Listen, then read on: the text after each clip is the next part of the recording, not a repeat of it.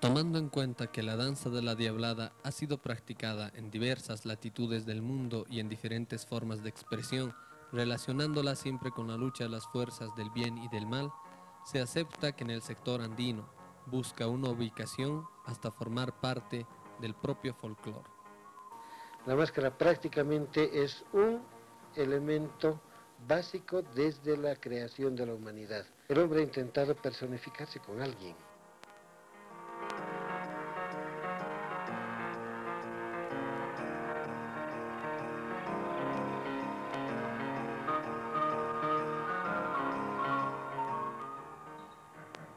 En la ciudad de Oruro, Bolivia, debido a la plasticidad propia del folclore, se puede comprobar que la careta de diablo, en base a sus características originales, sufrió modificaciones que con el transcurso de los años llegaron a distorsionar su figura primitiva.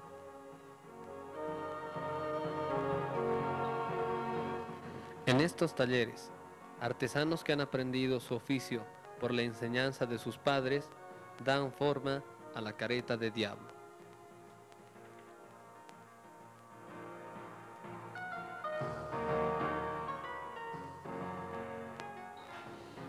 Eliseo Valencia, un hombre que lleva más de 40 años en el oficio de caretero, trabaja en hojalata, un material más durable que el yeso, al que este artesano le ha buscado nuevos modelos, proponiendo, por ejemplo, las máscaras niqueladas.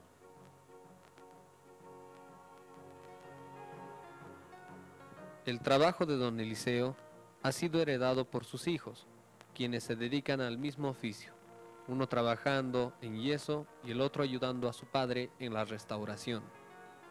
Don Eliseo Valencia golpea la hojalata que formará parte de las miles de caretas multicolores que danzarán en honor a la Virgen del Socavón este próximo carnaval.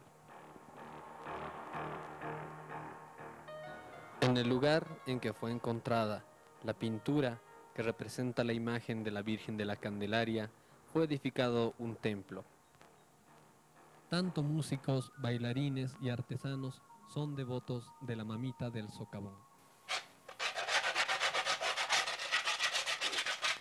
Eh, mi nombre es René Flores Ordóñez, nacido en Oruro, hijo de Pánfilo Flores.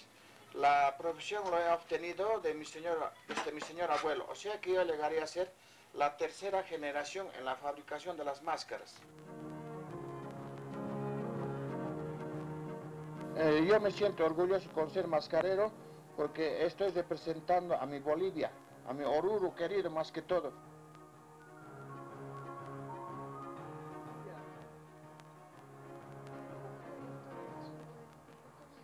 Eh, mi señor abuelo había sido oriundo netamente tiahuanaqueño. En honor a la verdad, mi señor abuelo había, había venido a servir su patria aquí a Oruro, al regimiento Camacho. En la familia de mi señor padre somos seis hermanos, tres eh, mujeres y tres varones.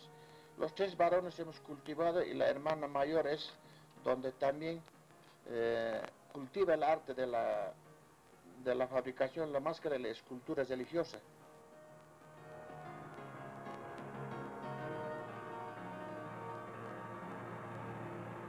Mi mayor decepción ha sido cuando quisieron llevarme al exterior los, unos señores chilenos y unos peruanos, donde indicaban de que yo tenía que fabricar las máscaras, pero donde debía indicar un lugar la, estratégico, donde tenía que indicar que estaba fabricado en Chile o en Perú.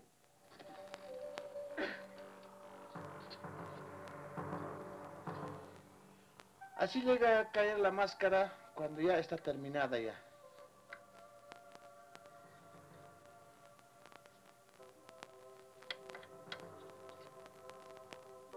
A la juventud y a mis hermanos colegas artesanos que sigan cultivando el arte de la arte folclórico, tanto sea trajes o máscaras.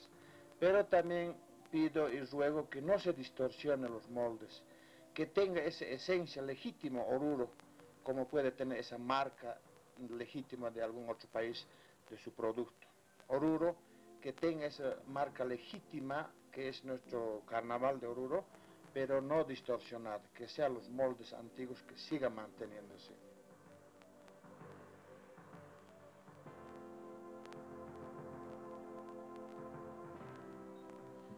El Carnaval de Oruro es una fiesta que se la considera pagana por su origen, por su aparente confusión de personajes, ritos, ostentaciones, de hiriente riqueza material.